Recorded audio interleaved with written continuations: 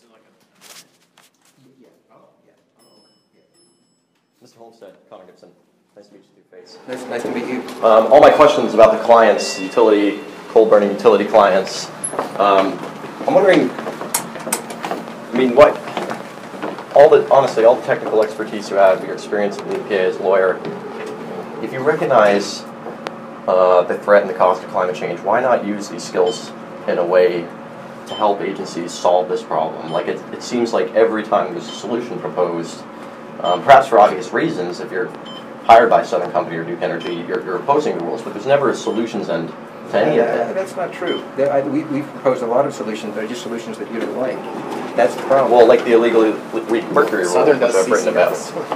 Right, which is which is interesting because I don't think that you would say CCS is a worthy investment. I don't think I would say that CCS is a worthy investment or a viable solution. But these are, you know, why not why not work proactively to help you know these industries and especially the people employed by them transition away from a high carbon based economy into one that is not you know having all these external costs on humanity. Well, I, you know, at some other point, I, I would, I would be happy to have this conversation with you. I'll tell you many of the things that, that, look at, my clients are dedicated to providing one of the most important things that people have, and that is a supply of low-cost electricity. But at You what view- cost? You view but these at what plants cost, Mr. Holmstead? at, at, at a cost that seems to be reasonable all around the world. All around the world, people have chosen this as a way to provide low-cost electricity. Because Right. until now, there have not been many viable alternatives. I mean, the, the companies you're representing have, have resisted investment in clean energy. They've That- that- resisted policy incentives for Actually not- the not solutions. True. So, so, so, so sometimes you need to tell me about who's investing all this money if it's not my clients. Well, my clients are investing huge amounts. They're investing some, but they are also hiring people like yourself, Mr. Holmstead, to block all the regulatory solutions.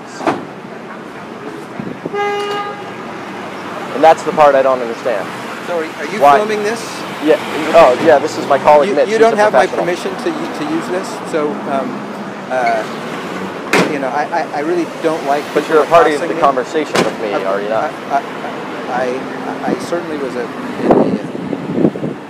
giving a public presentation, yeah. And I, and I, and as I say, giving a public presentation, but but the, but my question about solutions to climate change. Why why when when you would, why when, why when just you really, work for when you really, and, when you really Southern want against these regulatory I- I- solutions? They're this because the regulatory so- solutions that have been proposed are illegal, right?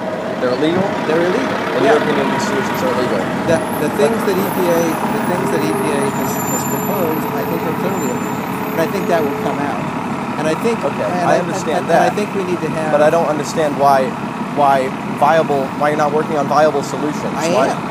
But it am. seems like the, the opinion at events, all of these events, whether it's for cross-state air pollution, whether it's for mercury, whether it's for carbon regulations, is, is on the side of industry needs more time. Industry thinks it's illegal because of this. Industry, uh, you know, is And- opposed to this solution, but isn't opposed to the overall concept. That just seems like coded language to make sure there's never regulation implemented that could affect your clients adversely. I, I understand it's not easy for a coal burning utility to stop burning coal and move to other fuel sources, even when gas becomes more economical, even when renewables become more economical. But I don't, I don't understand why just, why just choose to be a, a hired gun as a roadblock? Why, why? Own, I mean, this is a. You, you've said yourself, global think- warming is an immense problem. I, I think you're misconstruing my role. I actually am quite involved in a number of efforts to try to do sensible things, but but but people are more interested in having me talk about sensible in terms of the science of climate change? Absolutely. Because this rule falls short of scientific targets that are needed. You've said, and I agree with you, that 2005 emission baseline rates are, are not strong enough. I mean, the Intergovernmental Panel on Climate Change says 1990. 1990 is the baseline that needs to be used. So we differ in our opinion there, and that, I think they're not ambitious kind of, enough. That's kind of silly because that- it, from a science perspective, the, the baseline is irrelevant. From a science perspective, the question is what are the levels of CO2 in the atmosphere? So that's it's kind of silly Right, to even in order to keep the temperature below 2 degrees Celsius average rise, which right now we are projected to way overshoot, including with this rule, we will not meet that scientific goal. So if you say you're concerned about climate change, how, why are you trying So, to make weaker or, or even kind of insinuating you may I'm litigate I'm, I'm, I'm against curious, this I'm rule? curious about what your solutions are. Tell, tell me exactly Oh, how you I would I would look for a much bolder emissions target. I would look for one that, that does what the science says we need to do in order So to avoid a two degrees Celsius do? temperature we- limit. Let's say we shut down all the industry in the United States. What would that do to Shut down all the industries? Yeah, shut it down completely. What well, would that that's that's that's that's putting me in a box of saying that my No, solutions asked- are just to no, shut down industries, No, no, and that's not not what that. I said. if that were to that's why I said why why why could we not work on a more collaborative way with these coal burning utilities, coal mining companies to find a transition that works? I think they are talking with reasonable people. I, don't think they're interested in talking to Greenpeace because Sure. be- because you're viewed as, someone who's quite unreasonable on these issues.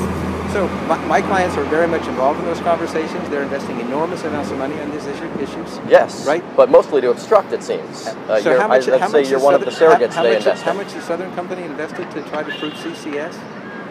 Uh, you tell me. I think you're the one that, that, that Well, said you know, that, I but I, you- I'm not sure that so you- CCS is a viable solution to climate change. It has, it has. So how else how, how else do com- countries continue to provide reliable electricity if they don't burn coal?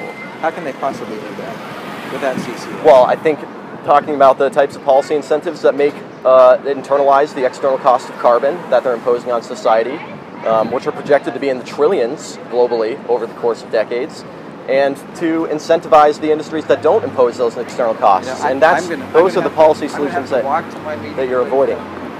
Thank you, Mr. Holmstead.